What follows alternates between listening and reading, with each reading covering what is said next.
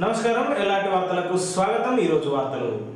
కోనరావుపేట ప్రాథమిక వ్యవసాయ సహకార సంఘం ఆధ్వర్యంలో వరిధాన్యం కొనుగోలు కేంద్రాన్ని చైర్మన్ బండ నరసయ్య ప్రారంభించారు. రైతులు దళారులకు ధాన్యాన్ని అమ్మి మోసపోకుండా ప్రభుత్వ కొనుగోలు కేంద్రాల్లో దా- తమ ధాన్యాన్ని అమ్మి మద్దతు ధర పొందాలని కోరారు. కార్యక్రమంలో గ్రామ సర్పంచ్తో పాటు ప్రజాప్రతినిధులు గ్రామస్తులు పాల్గొన్నారు.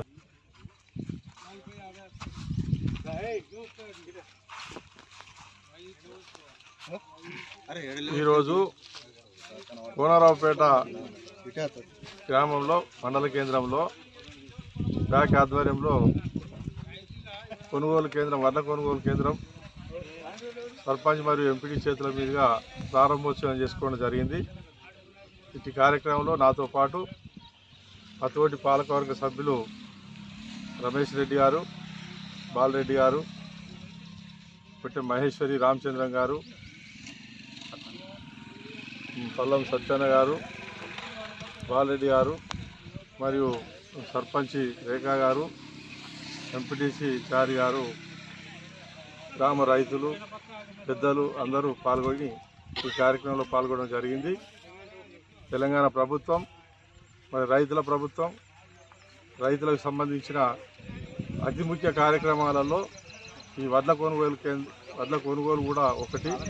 ఈరోజు రైతు బంధు ఎలాగో రైతులకు భరోసాగా మద్దతు ధర కల్పిస్తూ మరి ఇలా దళారులతోటి మోసపోకుండా రైతులకు భరోసా ఇచ్చి మద్దతు ధరతోటి కొని మరి తెలంగాణ రైతుల పక్షాన తెలంగాణ ప్రభుత్వం మరి అన్ని రకాలుగా రైతులను ఆదుకుంటుంది కాబట్టి ఈ కొనుగోలు కేంద్రం సజావుగా జరగాలంటే పూర్తి స్థాయిలో మాకు స్థానిక ప్రజాప్రతినిధులు కానీ స్థానిక రైతులు కానీ అన్ని రకాల సహాయ సహకారాలు అందించినప్పుడే ఈ కొనుగోలు కేంద్రాలు దిగ్విజయం అవుతాయి మరి తప్పకుండా ఇంతకుముందుగా గతంలో జరిగిన విధంగానే మీ సహాయ సహకారాలు ఉండబట్టే ఇక్కడ దిగ్విజయంగా మనం పూర్తి చేసుకోవడం జరిగింది.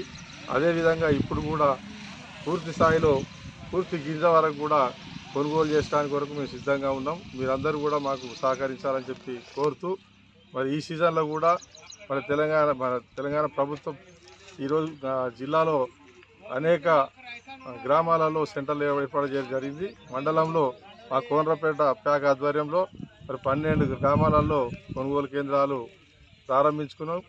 మరి పూర్తి స్థాయిలో ఒక రెండు మూడు రోజులనే ఆ కొనుగోలు కేంద్రాలు ప్రారంభించి వడ్ల కొనుగోలు కూడా ప్రారంభించి సకాలంలో అవన్నీ కూడా కంప్లీట్ అవడానికి వరకు కృషి చేస్తామని తెలియ ఈరోజు కోనరావుపేట మండల కేంద్రంలో ఫ్యాక్స్ చైర్మన్ బండ నర్సయ్య మరియు బండ నర్సయ్య గారు మరియు వాళ్ళ డైరెక్టర్ల గారి ఆధ్వర్యంలో ఈరోజు వడ్ల కొనుగోలు కేంద్రం అనేది ప్రారంభించడం జరిగింది. ఈ కార్యక్రమానికి గ్రామంలో ఉన్నటువంటి రైతులు మరియు పెద్దలందరూ కూడా పాల్గొనడం జరిగింది.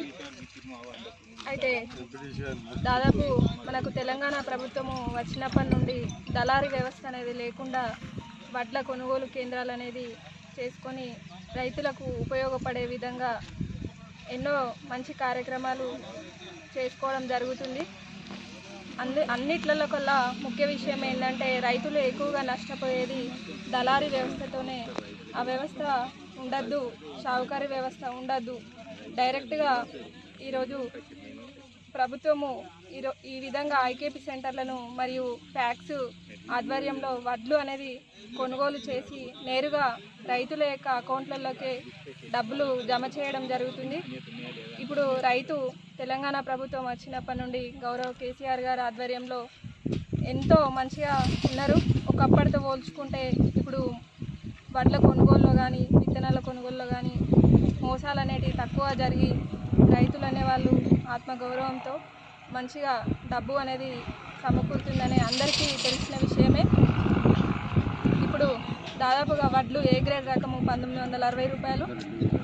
రెండు వేల రెండు రెండు వేల అరవై రూపాయలు. మరియు బి గ్రేడ్ రకము రెండు వేల నలభై రూపాయలుగా తీసుకోవడం జరుగుతుంది. ఈ ట్యాక్స్ ఆధ్వర్యంలో నడిచేటటువంటి వడ్ల కొనుగోలు కేంద్రము ఇక్కడ ఉన్నటువంటి రైతులందరూ కూడా సమిష్టి కృషితో అందరూ కూడా వాళ్ళకు సహాయ సహకారాలు అందించి వడ్ల కొనుగోలు అనేది మంచిగా జరిగేటట్టు చూసుకునే బాధ్యత మన అందరి మీద ఉందనే విషయాన్ని తెలియజేసుకున్నాను అదేవిధంగా ఇప్పటికీ మన కోనరావుపేటలో కానీ విలేజ్లలో ఈదురుగాళ్ళతో కూడినటువంటి వర్షాలు అనేటివి వస్తున్నాయి. దాదాపు ఎంతోమంది రైతులు కూడా వడ్లు అనేటివి రాలిపోయినాయి. ఇందాకనే మాకు గ్రామ పంచాయతీ ఆవరణలో కూడా చాలామంది రైతులు వచ్చారు. వాళ్ళ ఏ ఏఈఓ గారికి కానీ ఏఓ గారికి కానీ కొంచెం వాళ్ళకి ఏంటంటే వాళ్ళ పరిధిలో వాళ్ళ లిమిట్స్ అనేటివి ఉంటాయి. ఎవరి రైతు యొక్క పొలంలో ముప్పై మూడు శాతం కంటే ఎక్కువ వడ్లు రాలిపోయినప్పుడు వాళ్ళు పంట నష్టం అనేది ఇస్తామని తెలియజేస్తారు వాళ్ళ పరిధిని దాటి కూడా వాళ్ళు వాళ్ళు రాసుకున్నట్లయితే వాళ్ళ వాళ్ళకి ఇబ్బంది కలిగే విధంగా ఉంటుంది కాబట్టి దాదాపు రైతులందరూ కూడా దయచేసి వాళ్ళకి సహకరించాలి. ఎందుకంటే ఒకప్పుడు ఏఓలు కానీ ఏఈఓలు కానీ ఎవరు లేరు.